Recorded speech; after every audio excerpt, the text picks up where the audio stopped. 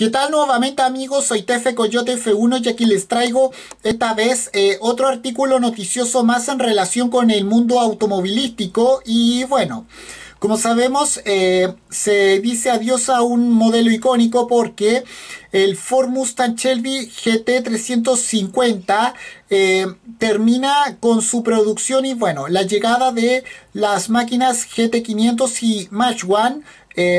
provocaron una reestructuración en la gama de las máquinas Mustang y el gran perjudicado es la eh, máquina eh, GT350 y bueno, hablemos un poco de aquello. Bueno,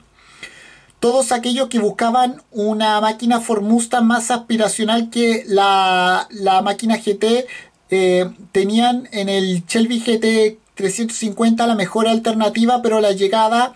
de su hermano mayor eh, provocó eh, cambios en la gama de, de, la máquina Muscle que porque la compañía automotriz eh, del óvalo va, va a hacer una reestructuración y, y ya existe un gran perjudicado. Bueno,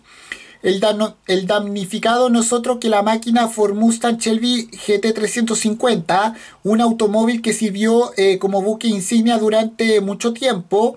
pero con su eh, propulsor tipo V8 de aspiración natural y su franja de competición van a dejar de disfrutar eh, dentro de muy de muy poco tiempo. Se dice esto porque la propia eh, marca estadounidense confirmó el cese de la fabricación de este muscle a finales de este eh, otoño estadounidense, tal y como se recogen los los del los de la los del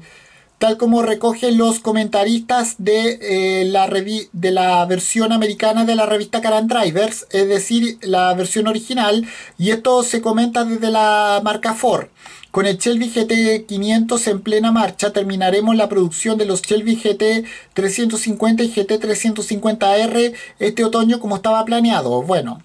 hay que recordar que la máquina eh, GT350 debutó en el Salón del Automóvil de Los Ángeles del año 2014, seguido de la máquina GT350R en esta misma cita del motor en Detroit un año más tarde. Su principal reclamo era un bloque eh, con 8 cilindros atmosférico que tenía como, como capacidad 5,2 litros y un cigüeñal plano y era capaz de tener como potencia 533 caballos, eh,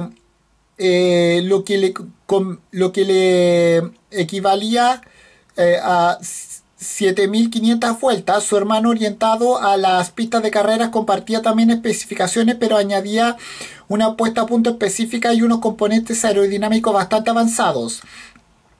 A partir de este otoño estadounidense,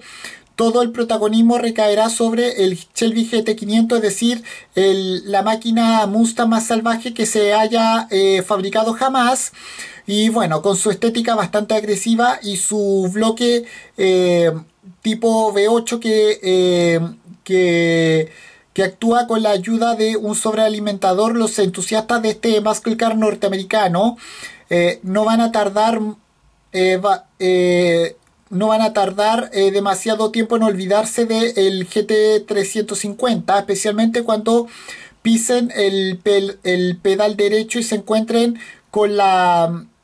potencia de 770 caballos que extraen de su motor de 5,2 litros. Bueno, tal vez el hueco que va a dejar el, el GT350 lo ocupe el nuevo eh, Mach y esto fue lo que se dijo. Eh, bueno, esto fue lo que se dijo desde la eh, compañía estadounidense del óvalo. El adiós del Shelby GT500 abre camino para que las nuevas incorporaciones entusiasmen a nuestros apasionados fanáticos del Mustang para el año 2021, incluido el Mach 1 de edición limitada. Bueno,